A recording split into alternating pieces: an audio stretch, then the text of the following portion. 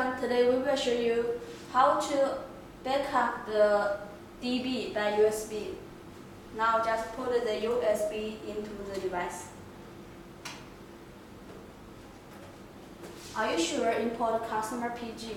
Yes. Then go to USB down.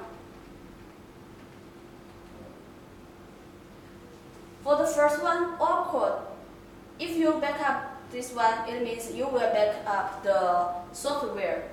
By the way, if you have downloaded some satellite uh, satellite channels into the box, it will also back up into that.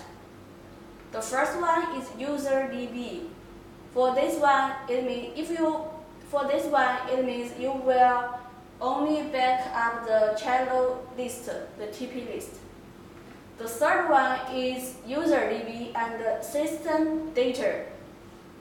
It means despite the TP list, the system data, for example, the setting of the Wi-Fi account, the setting of the CCcam account, LuCam account can also be backed For the lane, you can choose or not, just for your reference. Now, if we want to change the name, how can we do that? Firstly, choose the OK. Select the OK and move the letters by this. Okay. And please note that during the, uh, if you want to change the name, please do not change the bin file. Do not change it.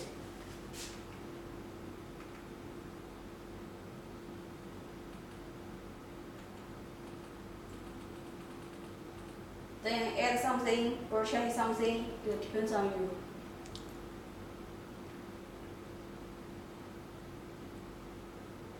And press the yellow key on the remote control to save it. And then start.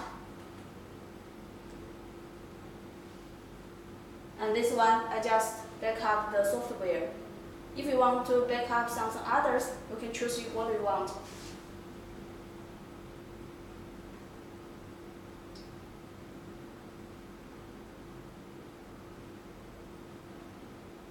Now the dummy success.